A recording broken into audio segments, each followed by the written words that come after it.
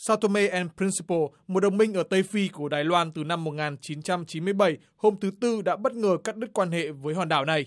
Ngay sau đó, Đài Loan đã giải tán đại sứ quán của Sao Tome and Principe ở Đài Bắc và đình chỉ một loạt các trao đổi ngoại giao. Hội đồng các vấn đề đại lục của chính phủ Đài Loan nói Trung Quốc đã sử dụng đường lối ngoại giao bằng tiền để thúc đẩy đảo quốc Sao Tome and Principe hủy bỏ quan hệ với Đài Loan. Các nhà phân tích chính trị nói Trung Quốc dùng thủ đoạn để lôi kéo quốc gia Sao Tome tách ra khỏi Đài Loan. Một số nhà phân tích cho rằng sẽ có nhiều đồng minh khác nữa của Đài Loan quay sang với Bắc Kinh trong năm tới. Đài Loan có 21 đồng minh ngoại giao so với con số 170 nước công nhận Trung Quốc. Hầu hết các đồng minh của Đài Loan là những quốc gia nghèo ở châu Phi, Trung Mỹ, Caribe và Nam Thái Bình Dương.